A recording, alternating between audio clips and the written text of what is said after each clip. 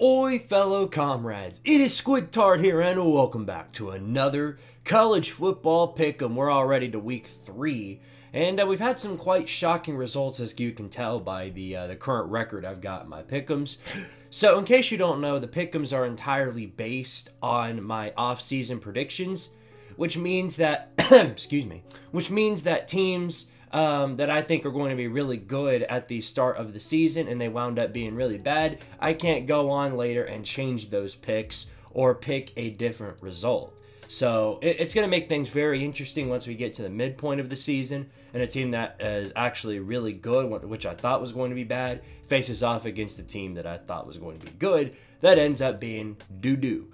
But anyway, with that all being said, let's go ahead and roll into the next set of pick'ems for today. My current record right now is 95 and 16. That's 85.6% of my picks I've gotten right. So, not a bad record so far. I'm trying to hit at least the over under on uh, 75% of picks correctly. But as we get into conference play this week, it's going to be real interesting to see how that plays out. So let's go ahead and waste no more time and roll into the next set of games. We got 51 games to cover, and just like the last few weeks, we still got some, you know, matchups that don't really matter. Bethune-Cookman in Miami. I picked Miami to win. They're ranked now. Good for them. So I picked Miami to win there. Maryland and Virginia. Maryland a 14 and a half point favorite. I picked Maryland in the offseason. I'm still sticking with that pick. They look like the way better team right now. Virginia is just off. They lost to James Madison last week.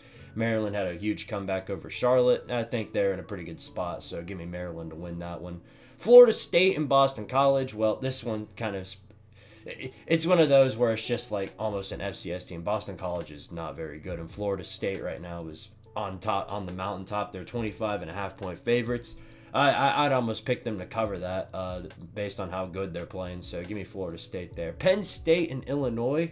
Uh, Penn State is a 14 point favorite over the Fighting Illini. They're traveling on the road to play them. Illinois uh, kind of got destroyed by Kansas last week. They tried to come back, but it wasn't a good enough comeback for them. Uh, as for Penn State, well, they look like a really, really good team right now. So give me Penn State to win that one still. LSU and Mississippi State picked LSU in the offseason.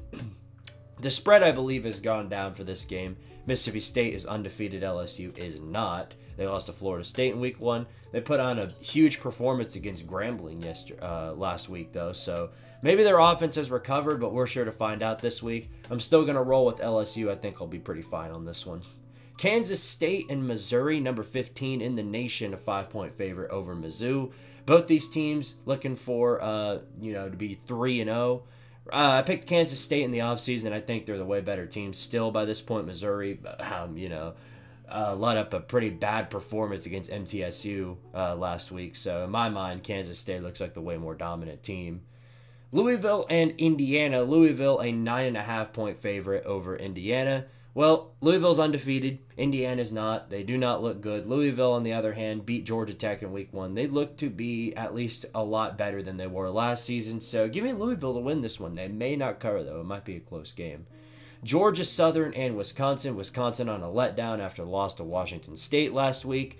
But they're still 19 point favorites going into this one. I picked them to win in the offseason. Come on, we, we all know they're winning that game. They got Luke Fickell, for goodness sake. All right, Wake Forest and Old Dominion. Wake Forest 14 point favorites. I don't even know why there's a spread on this one. Give me Wake Forest to win.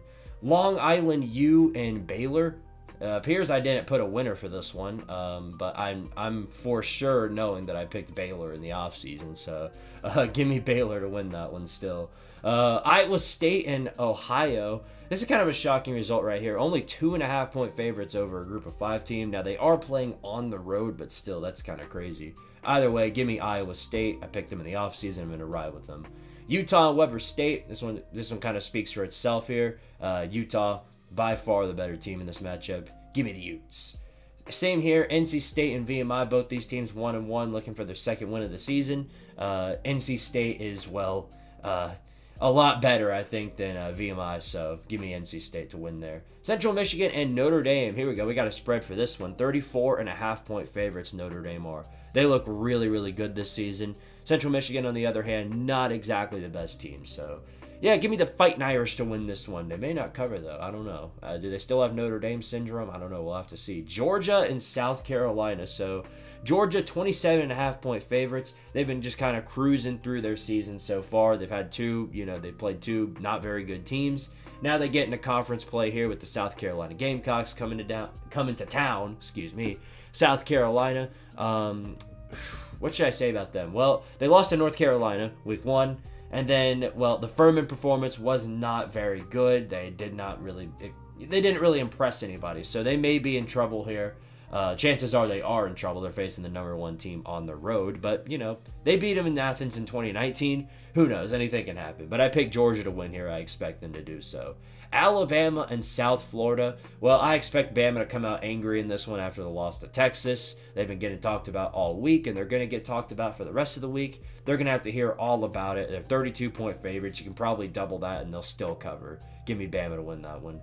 Oregon State and San Diego State. Oregon State coming in as 24 and a half point favorites over San Diego State. Uh, in my mind, I believe that they're going to win this one. I don't really think that they're going to have any trouble here. Oregon State's a pretty good team. Oklahoma and Tulsa. Well, is Oklahoma an upset alert? I don't know. They're 27 and a half point favorites. They struggled, like really struggled against SMU last week. Maybe that was a fluke. Uh, we're, we're, going to find out here, though. Tulsa, uh, they're having to travel on the road to play them, but in my mind, I think Oklahoma should take care of business here. Minnesota and North Carolina, the Tar Heels coming in as seven and a half point favorites. North Carolina looking pretty good. Uh, their defense, not so much. And Appalachian State, of course, again, gave them trouble last week. Uh, they went into overtime, actually. I think it was double overtime. But yeah, now they face undefeated Minnesota. Minnesota, not a bad team. PJ Fleck, pretty good uh, coach. He's done a good job with this team. They're still, I mean, they're undefeated. They beat Nebraska week one. Uh, but either way, I think North Carolina should win here. I think they have the better offense and will probably lean on that throughout the game. Northwestern and Duke. So we still have some, uh, like like the Minnesota North Carolina game. We still have some non-con Power Five matchups. Duke coming in as 18 and a half point favorite to put the whooping on Clemson in Week One. And they don't look to be slowing down. On the other hand, Northwestern just picked up their first win in a year as they beat UTEP. Uh, I think that was actually Northwestern's first win in America since like three years ago. I don't know. It's crazy to think about. But either way, Northwestern, uh, I don't really think they stand a chance here. I think Duke goes in and, and takes care of business pretty well.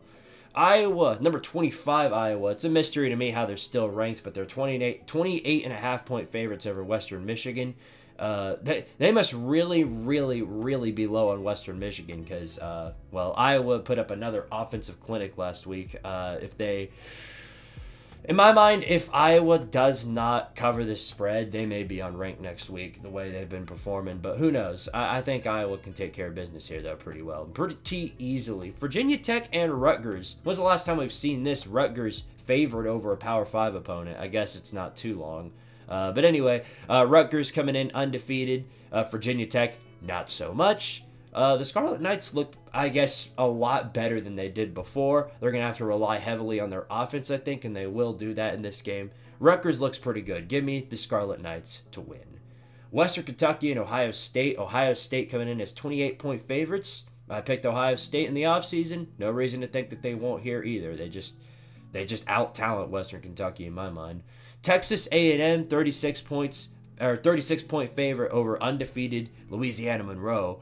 Uh, is there any chance for an upset here? Very highly doubt it. Texas A&M by far the better team in this matchup, and well, they besides losing last week to Miami, which is bad news. You don't want to lose. Uh, the good news is that uh, Bobby Petrino and Jimbo Fisher seem to be getting along pretty well. Their offense seems to be running at least decently well. It's just a matter of the defense being able to do their job. So we'll see how it goes. But Texas A&M, I think, should win that one pretty handily.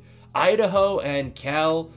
How in the world is Idaho undefeated? Nonetheless, though, Cal actually put up a pretty good, well, I say pretty good performance uh, against Auburn. It really, I mean, really the end result of that was like it was like 14-10. I think there were a total of like three. There were there were more people watching the Miami game last week than there were uh, watching this Auburn Cal game. But uh, anyway, Cal should be the winner here. They are by far the better team in my opinion. Washington and Michigan State. Well. with all the uh, controversy going around with Michigan State this week, Mel Tucker pretty much getting fired. Uh, not necessarily getting fired, more like suspended, but with all the controversy going around, as well as being well under talented, uh, Washington should win this one pretty easily. I have them. I had them winning this in the offseason. I guess that was a good call by me. Uh, Northern Colorado and Washington State. Well, Wazoo already back in the rankings after that win over uh, Wisconsin. Pretty good win by them, but now they're sitting at number 23. I don't think they'll crush under the pressure yet. It's Northern Colorado, so give me Washington State to win there. NC Central and number 24 UCLA. No point really talking about that. Uh, UCLA should win that one very handily. UCF and Villanova. Again, it wasn't until this year that I realized that Villanova had a football team, so UCF should win that one pretty easily. All right. How about this one? Tennessee and Florida. Well, I have more words on this later, of course, in my preview video and then my my, uh, my hate video on Friday for Florida and Billy Napier. but Tennessee, of course, coming in as six and a half point favorites. I think the spread went down a little bit after Tennessee's shoddy offensive performance against Austin Peay Florida, on the other hand, just got their first win of the season against McNeese uh, and actually dominated them. So a lot of people are picking this one for the upset alert of the season, or at least so far in the season. Um, all I got to say is I think Tennessee wins here. Of course, I'll I will have more words on this. I'll go much deeper in depth into this matchup, and uh, you won't have to worry about that for too much longer, as I'll cover that one on Thursday. But yep, Tennessee uh, probably should win this game. Uh, at least that's what I'm thinking. Samford and Auburn. Auburn undefeated. Samford, not so much. I think Auburn should take care of business here, roll over Samford, and get the job done. Northern Illinois and 11 point favorite Nebraska, who is still searching for their first season win and they desperately need it. Northern Illinois, while they're not a very good team, could very well run into uh, Lincoln and grab a win over uh, Nebraska. But, you know, I don't want any Nebraska fans to get mad at me, so I'm just going to say that the Cornhuskers win here and take care of business like they should. Vanderbilt versus UNLV. Well, the Commodores are four point favorites over UNLV on the road. I think Vanderbilt desperately needs to win this one in order to make bowl eligibility. Had them winning in the offseason. Uh, I think they win here as well. And the way Kentucky and Mizzou are looking right now, it's very possible Vandy could find themselves with five wins heading into uh, the Florida game. So who knows? Who very much knows. But anyway, I think Vanderbilt wins that one and wins pretty handily, or at least I would hope so. Cincinnati and Miami of Ohio. Cincinnati a 14 point favorite. They've Cincinnati so far has been a big surprise for me. I thought they were really going to struggle uh, so far throughout the season, but they went uh, in. They handled Pittsburgh pretty well last week, and, and in my mind, that means they should handle Miami of Ohio much better. So give me Cincinnati to win that one pretty easily. Oklahoma State versus South Alabama. The Cowboys coming in as a seven-point favorite. It's Oklahoma. I mean, it's South Alabama. Come on, let's be real here. Oklahoma State should take care of business with little to no issue. Tarleton State and Texas Tech. Well, Texas Tech looking for their first win of the season. They lost to Wyoming on the road in week one. And then they put up a really good performance against the Ducks of Oregon uh, and Bo Nix, but that last pick six thrown really kind of threw them off. But either way, I think Texas Tech should grab their first win of the season. Here, it's Tarleton State. Come on, let's be real. I didn't even know that was a real thing until this season. Bowling Green and Michigan. This is the biggest spread we've seen in a while. Uh, Michigan coming in as a 40 point favorite over Bowling Green. Well, I don't even think. Has Michigan put up 40 points all season? I think they have, but um, Michigan should definitely manhandle Bowling Green. Let's be real here. Uh, you know, not really much to talk about there. Georgia Tech and Ole Miss. Well, Georgia Tech, uh, one and one right now. They put up a pretty good performance against uh, South Carolina State, but that loss to Louisville definitely makes me uh, lean a lot more toward Ole Miss, as I did in the offseason. Ole Miss coming in as 20 point favorites. I don't know if they'll cover that. I think Georgia Tech. Uh, I think Ole Miss still looked pretty good against Tulane, but their offense was kind of struggling a bit. So I, in my mind, I still think Ole Miss wins here, but they may and they may be on upset alert. I don't know. Who knows? Who knows? BYU and Arkansas, both these teams undefeated, sitting at 2 0. Arkansas, a 9.5 point favor. How about Arkansas sitting there uh, that highly uh, rated over BYU? Well, they do have home field, home field advantage, which I do think helps them out quite a bit, as uh, Arkansas not necessarily the best team in the SEC. I do think they can handle BYU. KJ Jefferson going to be really good in this game, like he was in the last matchup. And you know they beat him on the road last year. I think Arkansas handles business business at home this year. Akron and Kentucky. Kentucky coming in as a 25 point favorite. They looked really bad last week against Eastern Kentucky. In my mind, I think they need to put up a really good performance here in order for me to think that they're not losing to Vanderbilt next week. So, in my mind, Kentucky Kentucky definitely needs some work to do. It'd be the perfect time here. Either way, I think they win. Syracuse and Purdue. Uh, Syracuse now rolling into uh, Purdue to play this one. They're two and a half point favorites. They're undefeated right now. Uh, Purdue definitely missing Jeff Brohm right now. They're one and one right now. this is a really tough one. Uh, if you're if you're going to bet on any game, this is definitely not the one to bet on because this game could probably go either way. Uh, it was a really close matchup last year. It's going to be a close one this year. I rolled with Syracuse in the offseason. I, I should probably just do the exact same thing this year. So give me Syracuse to win that one. Pittsburgh and West Virginia, the backyard brawl. Both these teams have already taken an L. They're sitting at one and one. Pitt as a one point favorite. Uh, the spread might as well be even if we're if we're being serious here. But um, Pitt.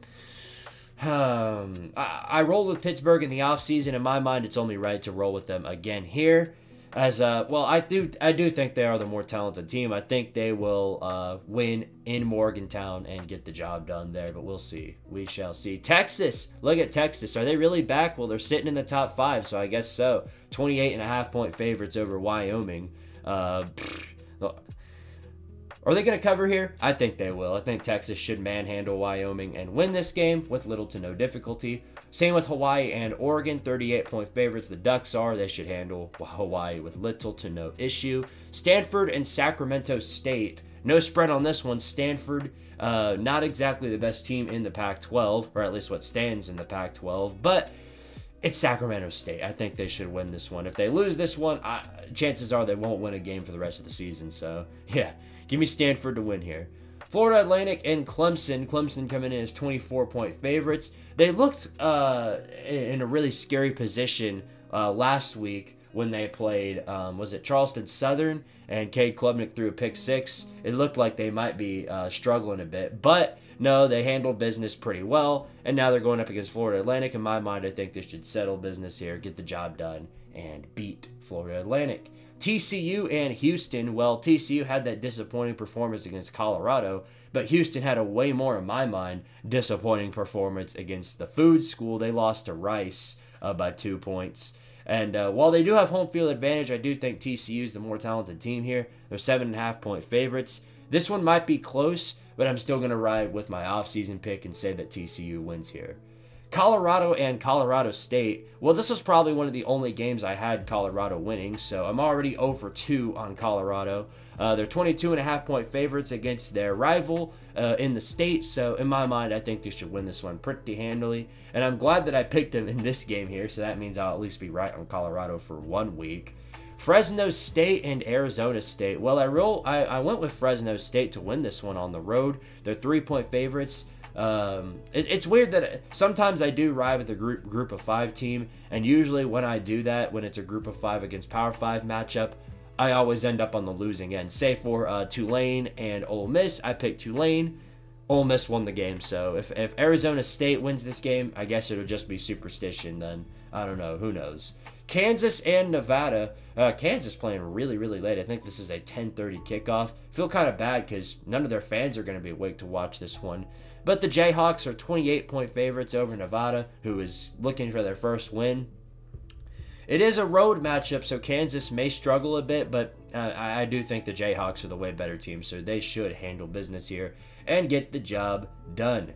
And here comes our favorite playoff team, UTEP, one and two, uh, going up against Arizona, who are 17 point favorites over them. Well, all jokes aside, UTEP's not a playoff team, as we know. They have two losses, which means that they can't make it. And UTEP was, I mean, they got whooped by Northwestern, probably one of the worst teams in the Power Five. Now they're going up against Arizona, who actually put up a pretty good performance against Mississippi State uh, last week. So they're definitely a way better team than I think people are giving them credit for. So I think Arizona should win this game pretty handily and get the job done. So there you have it. those are my pick'ems for the week. So I'm hoping to go undefeated, but we know how this stuff works. I, I, I ain't going undefeated. So, uh, yeah, that's all I have for today. If y'all um, liked the video, make sure to give it a like and sub up to Squidtard if you haven't already. And join that college football Discord server I've got in the description. We have a great time there during the season. Uh, hop on in there and uh, give it give a good old chat to the other people in there. It's a great, grand old time down there. So uh, until the next video, I shall see you all in the next one. And as always, power to Tardaria and go Vols too, because we're probably going to beat Florida pretty hard this week.